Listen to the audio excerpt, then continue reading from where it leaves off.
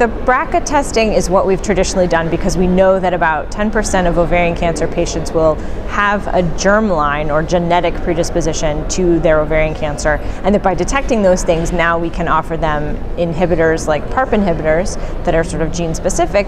In addition, we can help them prevent other cancers like breast cancer if they've never had that, or even pancreas cancer um, if they have a BRCA2 mutation. Um, so those are things we can do for the patient themselves. In addition, there's cascade testing, which is sort of the name that we give to testing people in someone's family once a genetic mutation's been identified.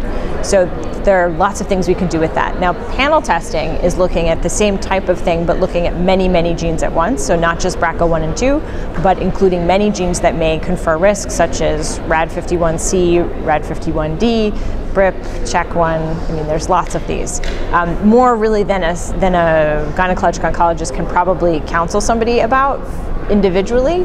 When there's only one or two genes, I think it was a little easier. I think it's really hard to completely counsel someone for panel testing, which is why the genetic counseling portion of the session was so important to talk about how patients really, really can benefit and should be have an opportunity to meet with a genetic counselor.